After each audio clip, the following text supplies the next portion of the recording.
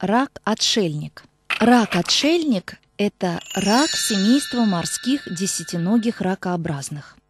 Брюшко нежное, помещено обычно в пустую раковину брюхоногих моллюсков – иногда в кусок бамбука. Раки-отшельники для своих домиков используют раковины более 25 видов моллюсков. Но если подходящей раковины нет, то рак может поселиться и в неудобной или неподходящей по размеру. Под защитой раковины рак охотится, а если чувствует угрозу, то целиком прячется в ней, закрывая вход клешней. Когда рак-отшельник подрастает, он подыскивает себе раковину побольше. При этом некоторые виды в поисках раковины могут предложить обмен таким же раком-отшельником, которые, возможно, заняли слишком большую раковину. Обитают эти раки преимущественно на мелководье, но есть и глубоководные виды, а также виды, способные надолго покидать воду. Например, рак-отшельник пальмовый вор. Большинство живут в тропиках и субтропиках, в России в Черном и Дальневосточных морях. Раки-отшельники свободно передвигаются по дну при помощи грудных ног, неся на себе раковину, которую удерживают брюшными конечностями и последней парой грудных. Питаются беспозвоночными, моллюсками, червями и останками погибших рыб. Часто раки-отшельники живут в симбиозе с актиниями, которые прикрепляются подошвой к раковине и пользуются остатками пищи рака, одновременно защищая его от врагов своими стрекательными клетками. Если актиния падает, рак снова кладет ее на место.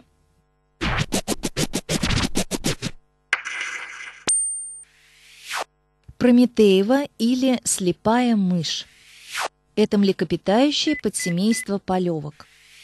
Длина тела 12,5-16,5 см. Длина хвоста 5-6 см. Мех этой мыши длинный, густой и шелковистый, обычно рыже-бурого, иногда черного цвета. Когти на передних конечностях сильно удлинены, глаза очень малы.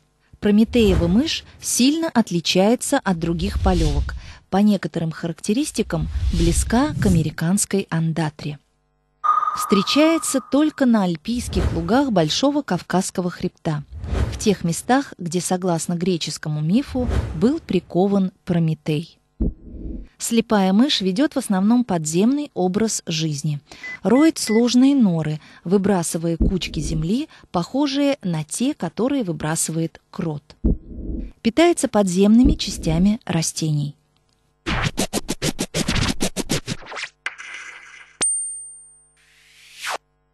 Асаед – это хищная птица семейства ястребиных, отряда соколообразных. Птица средних размеров. Длина тела приблизительно 60 сантиметров. Крылья в размахе около 140 сантиметров. Верхняя сторона тела у взрослых птиц бурая, нижняя – белая с темными пятнами.